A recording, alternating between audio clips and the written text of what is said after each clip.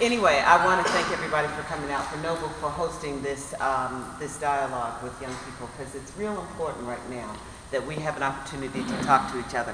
Um, when you look at some of the things that have happened recently uh, in our community, with young people being killed on more than two regular bases, when officers are being shot down in the streets, something's wrong.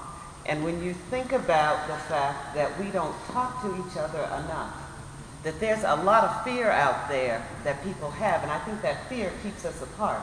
And that if we took the time to talk to each other and share with what each other are thinking, we'd be able to solve a lot more problems.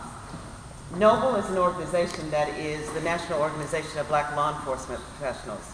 It means that basically this is an organization made up of chiefs and, and, and command officers and above. Um, they come from our community. We ought to have a way that we talk to each other. And that when we see each other on the street, it's not simply somebody in a uniform. It's somebody that we can relate to, but we don't get to there if we never talk to each other.